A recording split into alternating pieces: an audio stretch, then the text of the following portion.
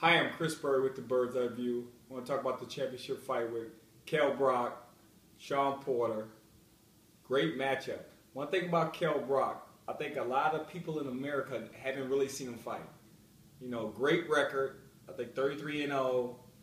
You know, a lot, 22 knockouts. Good boxer. Heard about him, but not really seen him fight.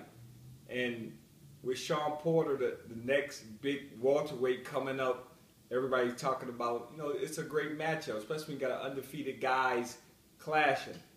But the, the thing about Shawn Porter, the, the game plan of just jumping in, rushing, it seemed like he was just overexcited for, for the for the title bout, getting it going, showing the world that he's the best at 147, and just rushing himself, coming straight forward, face forward, where Kell Brook just takes his time and if you notice, he just pick his shots, picking shots.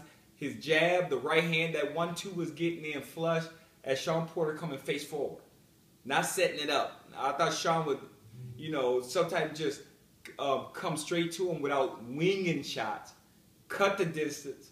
When he get to Kell Brook, then throw the punches. Sometimes he over committed, didn't have enough space to throw his punches, throwing looping shots when he got in and coming in at the same time. So it, it, it really never, he really never landed great shots. Never had a, like a game plan of really what he wanted to do. And Kell Brook in, in those certain rounds was just stealing rounds with precise punching, good stuff, being patient, talented guy, very talented. But Shawn Porter, talented, talented kid too. I just think in my opinion, it, it, may have been the moment. You know, just just so much and and just just so much pressure on him. I guess I don't know. It just the game plan did it just didn't work.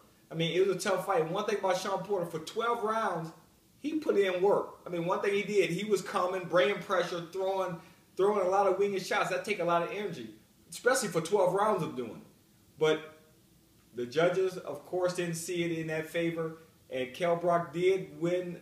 You know, win the title. He outpointed him, and he's the new champion. And I think it's a lot of great fights for him at welterweight. Um, for Kell Brook, good kid. I mean, good, just a good boxer all around. And props to him. Props to Shawn Porter. He'll be back. Young guy. Uh, go back to the drawing board. Get that game plan down. He'll be back in the mix. Thanks a lot. You got the bird's eye view.